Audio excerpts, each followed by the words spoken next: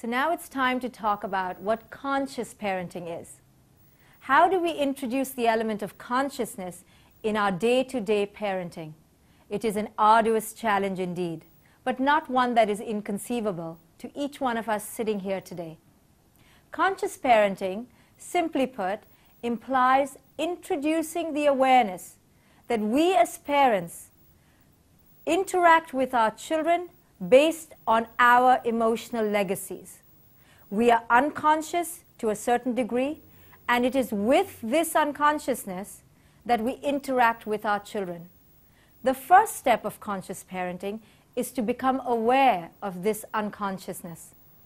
When we are aware and mindful that when we react to our children, we are not only attempting to react to how it is they are in the moment, but we are also, albeit unconsciously, deeply entrenched by the conditioning with which we were raised.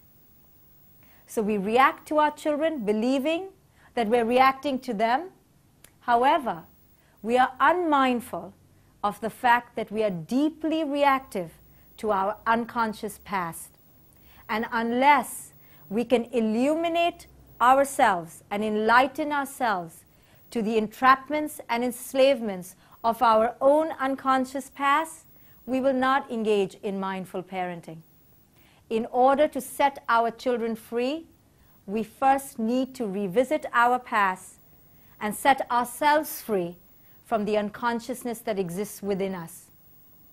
Then we will be able to engage with our children with reflection, with wisdom, with pause, with hindsight, with contemplation, with a sense of stillness. Because we are not just blindly projecting and reacting to them anymore. We are aware of our issues, so to speak, our baggage.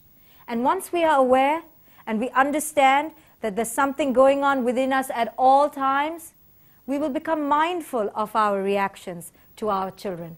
So, conscious parenting means to go back into our past, become aware of the legacies we inherited from our childhoods, and then from this place of awareness, reflect and engage with our children.